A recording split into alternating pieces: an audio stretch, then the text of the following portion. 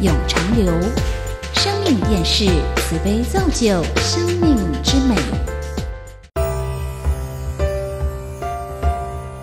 接下来，请收看般若讲座。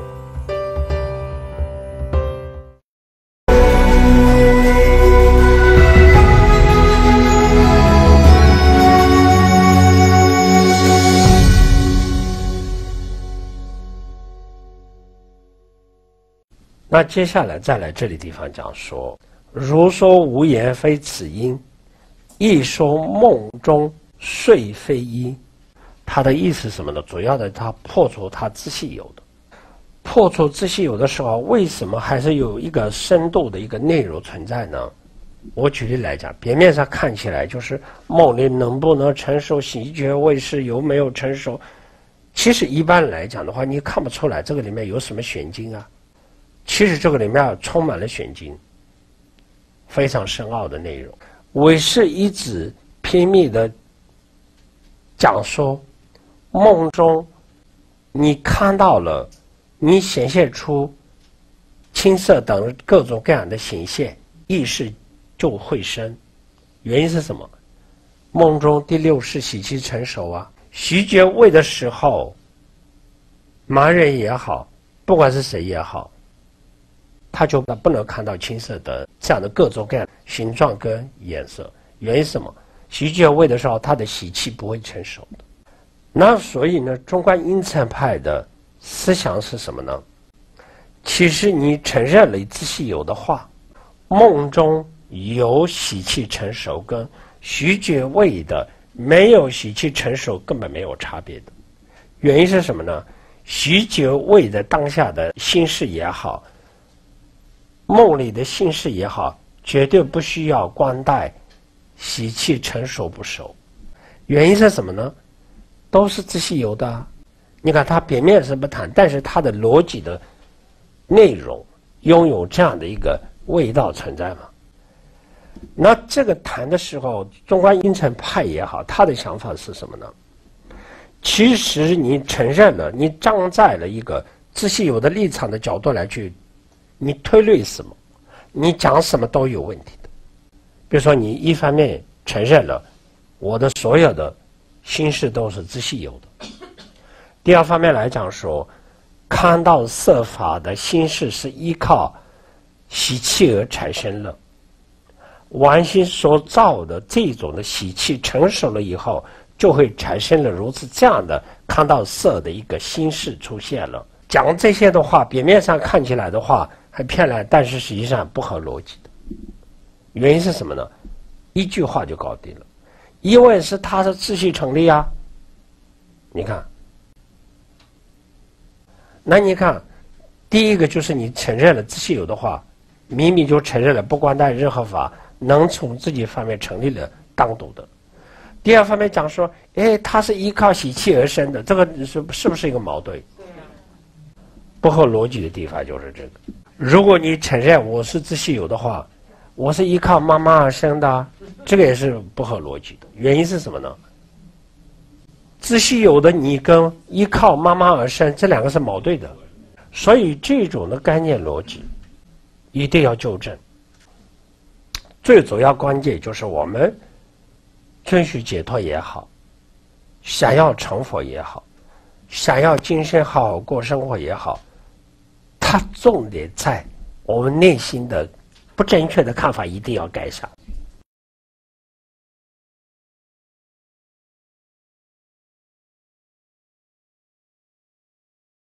一个人就是他跟朋友就反正就是分开吧，他太痛苦了。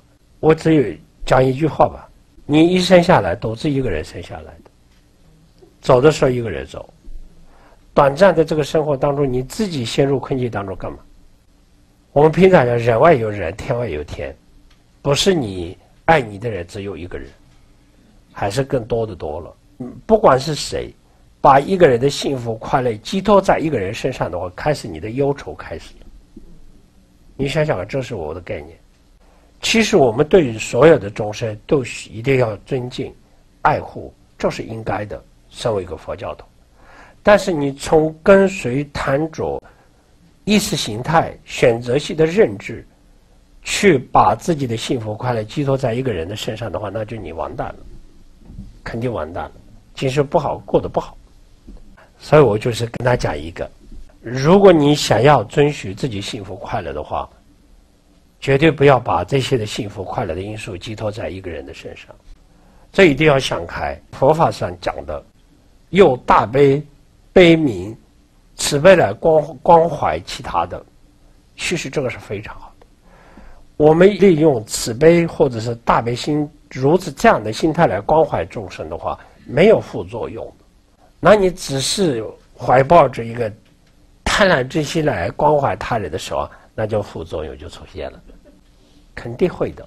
你纯粹的一个利他之心的话，它带来给你无数的快乐。比如说，我们培养。宽恕，你真正的内心宽恕坚强的时候，形成了安忍，安忍坚强的过程，你的嗔恚就减少了。一个人的相续当中，嗔恚与安忍不可能同居的，这两个是敌对的。安忍在强大起来的时候，你内心拥有的嗔恚是，它完全没有立足之地了，它就慢慢就消灭了。那一个人的相续当中，你修了安忍，消除掉了内心的嗔恚的时候，嗔恚带来给你的多少的烦恼、麻烦都是没有了。这个是一个符合事实的，所有道次第都是这样子。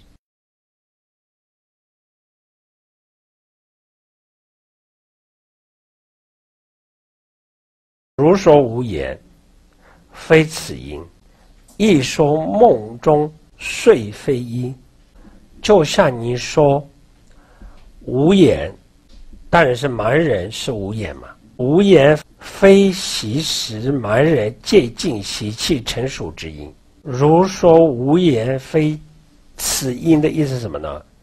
那也也根是我们抓不住了，也根是非常维系的，我们肉眼看不到的，主要以眼视的根基安住的处所。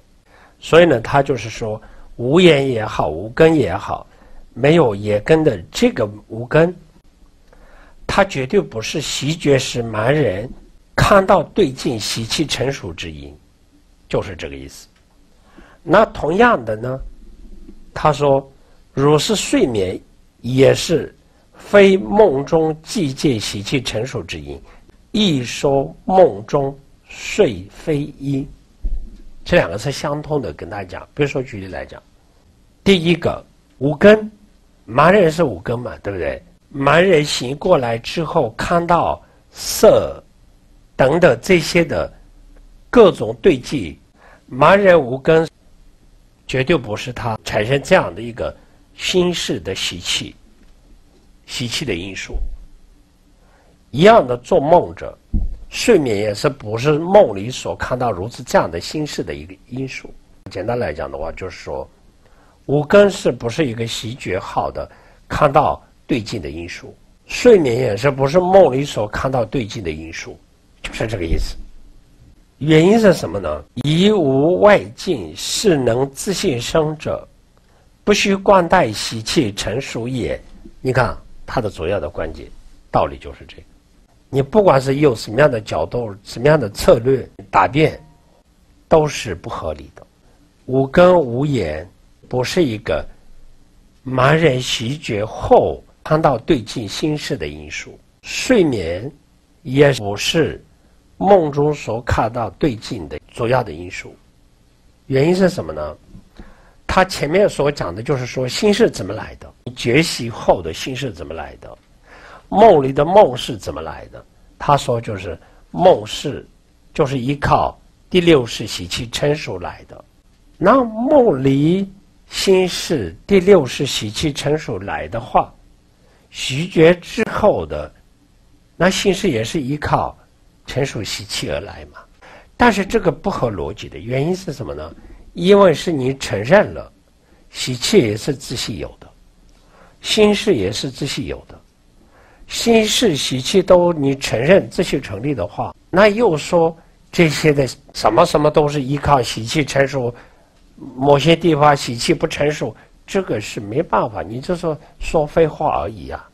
你站在一个程序这些有的角度去谈什么，都不不符合逻辑的。如果这些成立的话，不需要光带喜气成熟啊，道理就是这个。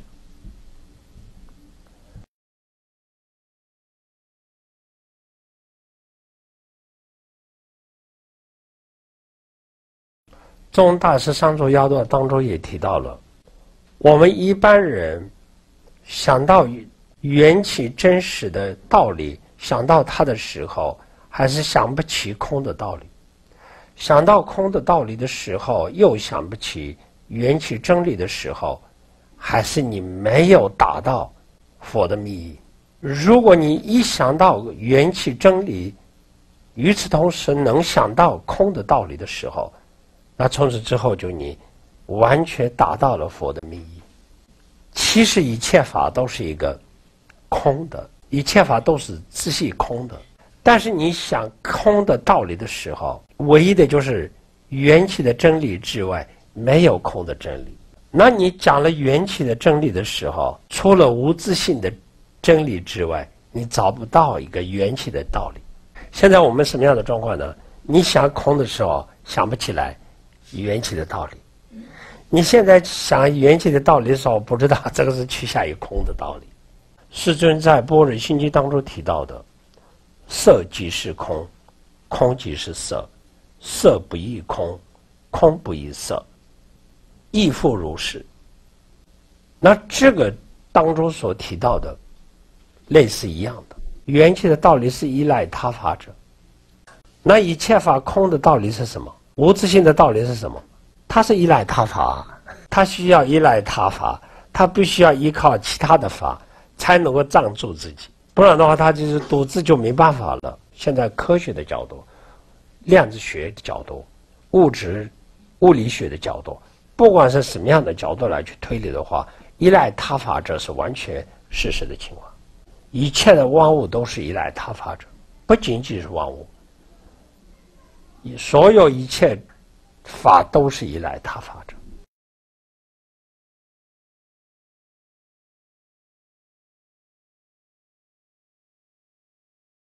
那依赖他法者有很多深入浅出都有。简单来讲的话，就是说，所有结果都是依靠因而生，这个是我们比较容易了解的。我们现在所吃的所有的谷类，都是依靠着各种不同的。种子而产生者，这个也是简单的嘛。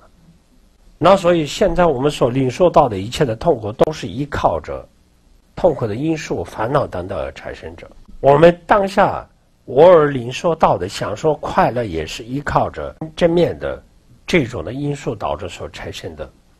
这大概就是我们粗鄙的角度来看，这样的话比较好的。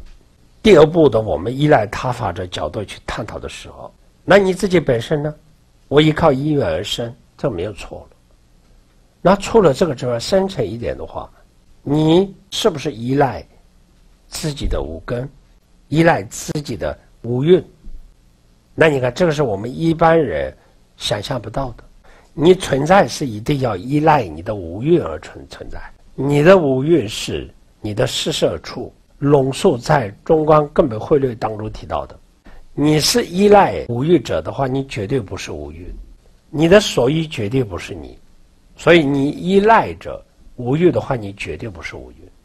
那所以呢，我们都是依靠无欲而存在的，依赖无欲而施设出是谁是谁。那学佛的时候，我们现在一定要这样的去观察：我是依赖他法者，这个他是谁？有很多。我依靠着我自己的五欲而存在的，那你的五欲不是你，你的五欲是你的四摄处，我们的五蕴色、受、想、行、识嘛，色蕴的话，那你看我们的从头到脚，现在我们所看到的这些的五脏六腑、皮肤、骨肉等等，这些都是我们的色蕴嘛。那身体当中的所有的心识。我们领受到的快乐的、痛苦的、不苦不乐的这种的感受，这些都是一个受欲。那你所领受到的受也不是你嘛，你的身体也不是你嘛，这个是很明显的。那你胡思乱想的这个意识是不是你？想欲也不是，那行欲也不是，那事就是六根事，六事希望，也不是我。你是控制他者，可以说另外一个角度来看的话，你可以控制自己的五蕴，五欲是你的施舍处，不是你。但是除了五欲之外，你当中的一个也不存在的，很奇妙吧？为什么过去的大成就者当中也好，或者是跟歪道之间有出现了各种各样的主张的原因是什么？这是不容易辨认出来的。所以呢，你不需要依靠无欲而单独自方成立了一个我的话，那这个我是除了无欲之外的一个我。这是外道所承许的我，很多的外道几乎都承认有我的道理就是这个。他一直不断的推理推理，终于他得出来的结论是什么呢？他说：“哎，我的手也不是我，我的身体也不是我，我的想也不是我。这样的话，我是其实实际上存在的。那我是应该是控制我的五欲者。”所以呢，除了五欲之外，一个当独的我存在的，大部分的外道就是承认了，除了五欲之外的一个当独的我。对，这个也可以说是成因自在的我，能独立实质有我。那所以呢，很多的外道承认了有我的原因就是这个。佛告诉我们的，你的五蕴是不是你？不是，你是依靠自己的五欲而安列为你。没有错的，但是除了你的五欲之外，你也不存在的；除了你五欲体系之外，你也不存在的。那如果除了五欲体系之外，你也不存在，并不代表是你不存在，你还存在。你存在的方式是什么？只是依靠无欲而安立为我是存在的。这个是合合不合逻辑？是我们一定要正确的概念来去推理。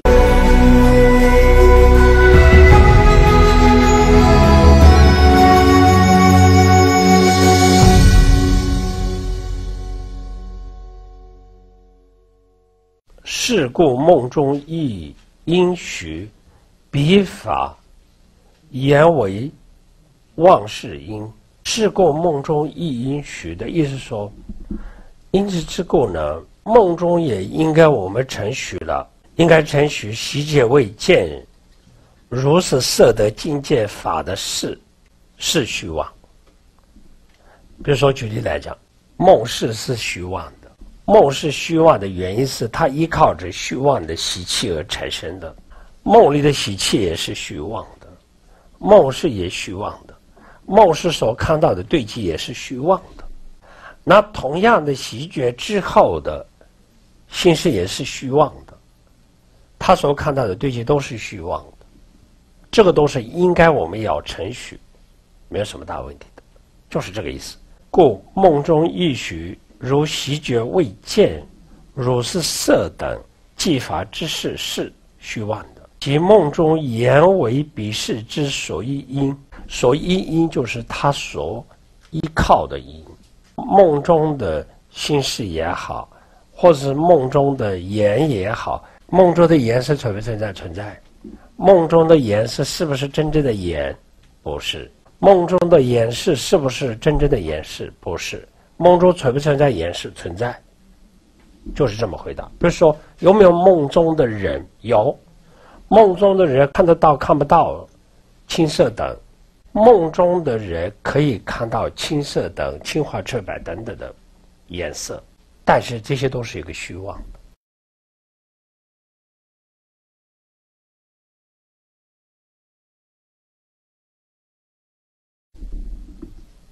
那接下来随此如如而答辩，几见比比等通中，汝是能处此妄真？他这里面谈到的就是说。这个意象，至终问，为是回答。问答的这个过程当中，第一个随此如如而答辩，问，答辩，这样的辩论的过程当中，几届比比的同中的意思什么呢？其实我问你也好，你问我也好，你表达出来的都是没有一个能力，都是一个所力。那能力跟所力的差别是什么呢？你一直讲说，这个是无常啊，啊，这个是桌子啊，这个是设法，这个是痛苦啊，这个是一个快乐啊，一直讲的话，你讲的这个是痛苦，这个是快乐，这个都是一个所力，所力就是我们还是用正确的道理来承办什么什么，这个所立法不是一个能力，能力是什么意思？能力就是一个。强有力的真理，知道吧？比如说，举例来讲，我们的生命是无常。OK，生命无常是所立嘛？我跟你讲的道理是什么？因为它是刹那刹那幻灭之果，这个幻灭之果是一个能力，我们利用这个能力来成立了生命是无常，这是一个正确的。所以所立能力的差别就是这个。中观因证派跟他为师讲说：“你今天我问你。”你回答的所有从头到尾的都是一个所力，没有几乎都没有能力的，只是你的主张而已。但是你没有讲出一个真理，中就是主张嘛，同就是类似。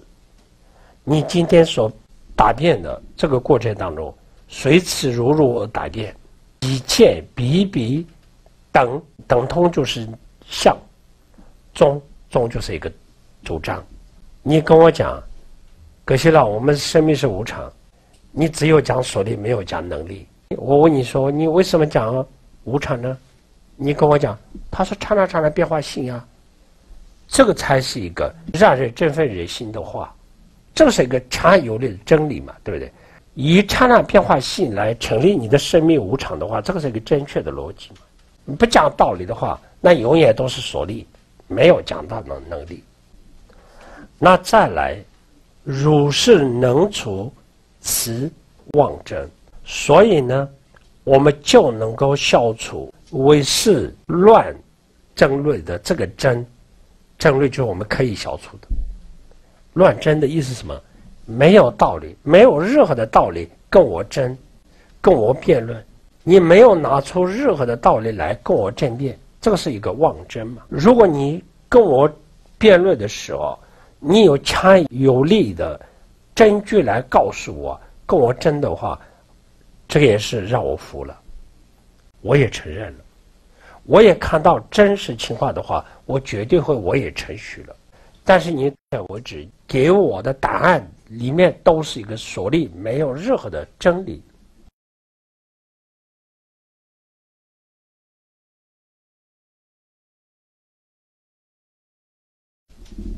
那再来破除为师的看法的话，也许是违法了。那但是我们这里澄清嘛，澄清说不违法，非但不违正理，亦不违圣教。那原因是什么呢？诸佛未说有始法，诸佛这个代表是不是一个很多的佛？他的意思说，释迦牟尼佛。从来没有说过实有法，实有法是自信成立的法。那所以问题来了，释迦牟尼佛曾经没有说过自信有的法吗？那月成菩萨说谎了。那初转法轮的当下，对我比丘说四谛法都是自信成立啊，实有的。那怎么去我们解释？周正德觉。于自宗经中不曾说有十法故，正德觉就是世尊圆满成佛者。自宗代表是佛自己内心的中心的思想，佛自己内心中心的思想是他的密意，他真正的想法。佛的真正的想法当中没有自信有的概念。所以呢，他说出来的真正的之中的经当中，《疗愈经》当中出来没有说过由自信成立的法。所以呢，我破除了自信有的看法、自信有的见解的时候，我不违背世尊的真理，又不违背了世尊的圣教，和不料一经有一点相违之处，并不代表是违背了正理。原因是什么？不料一经本来就是它字面的意思，跟意义是不一样的。所以呢，诸佛未说有始法，就是刚才我们前面讲的，诸正的觉于字中经中不曾说实有法故，它的道理就是这个。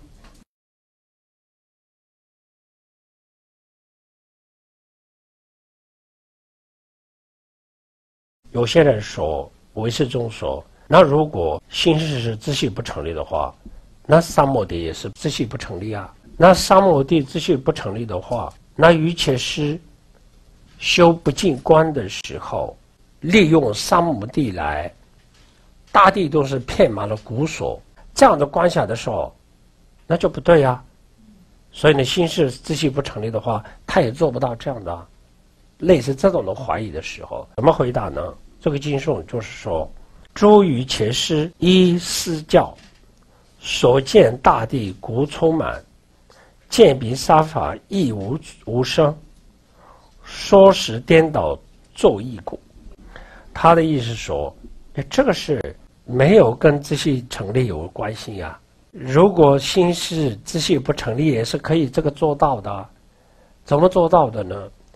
于切师，他自己依靠着上师的教导，他透过三摩地来变现，大地都是变成古所，充满了古所这样的一个修补机关的时候，借彼三法亦无生的意思是什么呢？当下的于切师，他修行者他自己通达了根经世，三法都是无自性生，自性不成立。无自性身可以通达的，但是说是颠倒作意过的意思什么呢？佛也说了，当下的他的这种的三摩地，他看到显现出来，大地都是偏满古所的这个三摩地，是一个颠倒作意故。颠倒作意是什么意思呢？他不是说他这完全是颠倒式的意思，他的意思说，这种的看到古所大地的三摩地。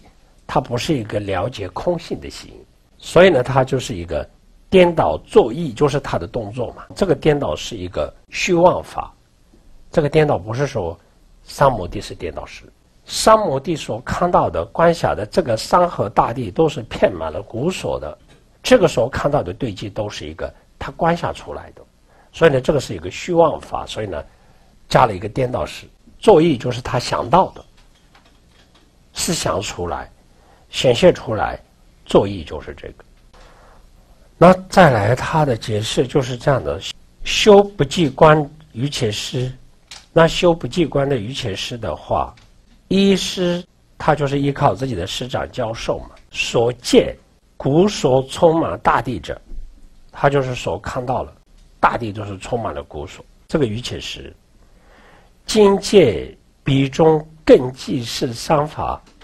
今天我们看到的这个根基是三法都是一皆无自性生，没有自性生者，都是一个无自性生。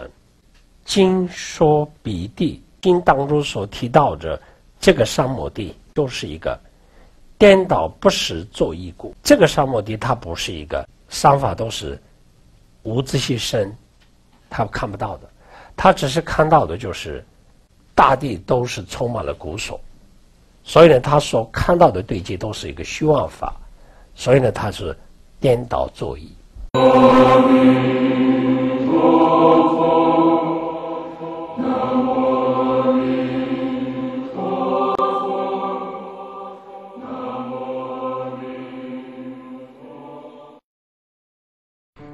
护持台湾救狗协会邮政划拨户名。台湾救狗协会划拨账号五零零一六七六六五零零一六七六六，银行账号银行代号土地银行零零五账号零一二零零一一九八六六零零一二零零一一九八六六零，以认养代替购买，给浪浪一个温暖的家。九九流浪。